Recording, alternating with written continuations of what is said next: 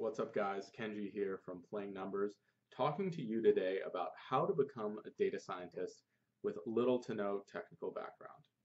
I studied economics and business in school, and I've transitioned to become a pure data scientist. I get a lot of questions from students, from people who have just graduated college about how I made this move, and I'd love to talk you through my experiences and the things that I've learned on this journey. Now there are three main topics that I'd like to cover. The first is what skills do you need as a data scientist? The second is how do you go about learning these skills? And finally, after you have this data science toolkit, how do you make yourself desirable on the job market? What can you do to give yourself the best opportunities going forward? Now, jumping right in, when I think of a data scientist, I think of a problem solver. You have a lot of different sources of information, you have a lot of questions that you want to ask, and your job is to produce insight. And in order to produce insight, you need a lot of flexibility and flexibility in the tools that you use. I think the most flexible tools that are out there are coding languages.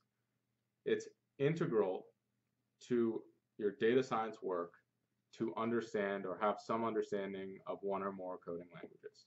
I would recommend Python, R, or potentially Scala to learn to be able to maximize your skills and your flexibility as a data scientist. I think that with focus study, someone that had never written a code, a line of code before, could get to a comfortable place where they could do some data science work in about two to three months. The second thing that you need as a data scientist is some data aptitude, understanding of how data is organized and how it works, an understanding of how databases work, working with SQL or some unstructured database, and understanding how to cut and manipulate data so it can be used in your algorithms that you're going to create is as valuable a skill as any. I probably spend 50 to 60 percent of my time as a data scientist cutting, manipulating, and organizing data. Then I can do the fun stuff and actually analyze it. One thing that might resonate with some of the less technical people is the visualization aspect of data. In order to give insight or to transmit insight to the business side of an organization, visuals are usually used to tell a story. It converts basically the code and the, and the analytic level insight to something that is understandable on the business side. And people with a marketing background, with a business background, might have really good experience doing this, and good news, a lot of companies actually hire data scientists that specialize in visualization. So targeting these roles, looking for visualization roles to get in to get your foot in could help you establish yourself and you can work on your other technical skills on the job. The last thing that I think is really important for a data scientist is experience. I'm not talking about experience in terms of the number of years that you've worked as a data scientist and the number of hours you put in. I talk about experience in terms of what type of work that you've done. If you've done a fantasy football analysis where you read regression, I consider that experience. That's something you could put on your GitHub. That's something you could put on Kaggle, on a lot of these websites where you can share the work that you have produced. And that's great for you because you can use it as a reference if you have to write another regression. You can pull that code and see how it worked. Or it can also show the world the type of work that you are capable of doing. And it shows that you're willing to do that type of work in your free time, which is absolutely awesome. That means you love data science, and I would want you at my company. Now, how do you go about learning those skills that I just talked about? I think there's three main ways. The first I'll talk about is the approach that I took. I went through the formal education process, where I got my master's in computer science, where I focused in artificial intelligence and machine learning. Now this is good for me because in order for me to learn, I need a structured environment where someone has to twist my arm a little bit to actually get me to, to do the work. There's deadlines, it's very structured, and you know what you're going to get going in. I think for a lot of people, this might be a good approach, but it's important to consider the downsides of the formal education process. One, really expensive. I spent probably 60 to 80 grand over the course of two and a half years to get this degree. Two, it lacks a ton of flexibility. If I want to take a course, say I want to learn about neural nets, and the neural net course is only offered in a different season, a different quarter, a different semester, I have to wait until that, that time period to actually take that course.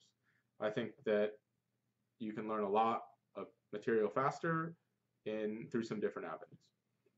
One of the benefits is that a lot of jobs look for data scientists with advanced degrees, and having an advanced degree can help you get your foot in the door. I don't necessarily like that that is the case. I don't think an advanced degree is necessarily a great indicator of how good a data scientist you are, but that is kind of the way the world works. And if you're looking at working in a more corporate environment, in a larger company, that might be something that they are looking for is this graduate degree. These schools also offer certificate programs and and other ways to, to learn these skills. I think that they're completely valid, but you don't get the degree that comes with uh, a master's program or something like that. There are generally master's programs in computer science, in data analysis or data analytics, and data science. I would do your own research to see if any of these would be a great fit for you in particular. The, the next approach, which I think is the most the, the best approach if you have the discipline to do it is to teach yourself a lot of these things. The internet has limitless resources on data science, on computer science, on any of these learning tools. And if you have the discipline and are willing to make a study schedule, it is possible to learn everything that you would want to know about data science online. You can go to Kaggle, which is probably my favorite data science resource, KDnuggets, you can go to Codecademy, you can go to Udemy, Udacity, DataCamp. All of these websites have learning information that is either free or close to free, and you know it's nickels and dimes compared to the cost of a formal education. Again, you really need to have the focus and the willingness to stick to to the, to stick to that path, but it is inherently super flexible and you can learn at your own pace. You know, if you're if you're really smart, if you're really into this, you could learn as much data science as you would need to get a, a really good job in six months to a year.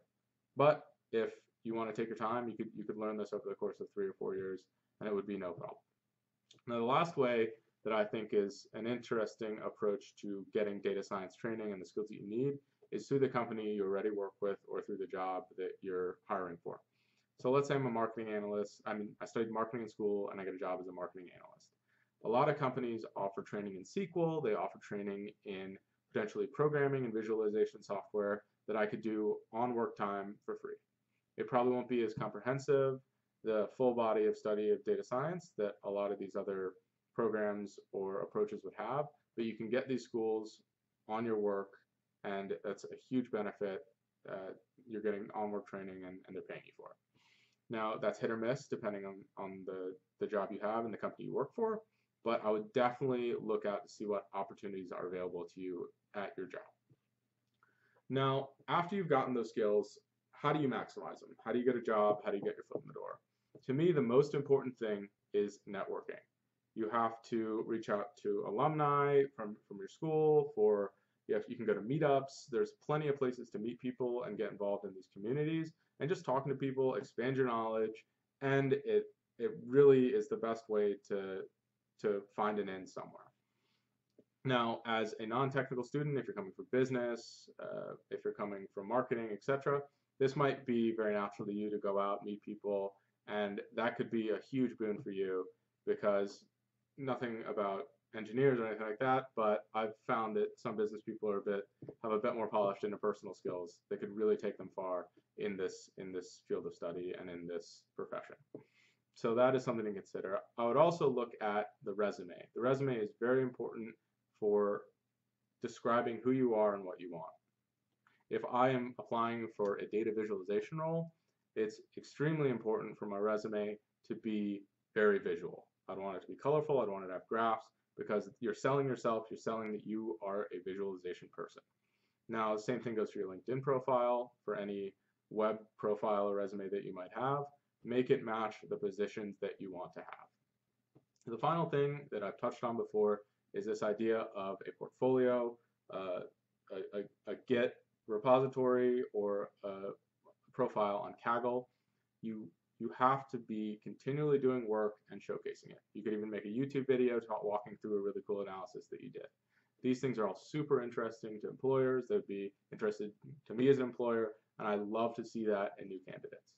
So thank you guys so much. I hope this video was informative. If you have any questions, feel free to comment in the section below. Also subscribe if you think that this is, uh, if these videos are interesting, you'd like to see me make more. I'm going to try and post more regularly. Thanks again. Have a great one.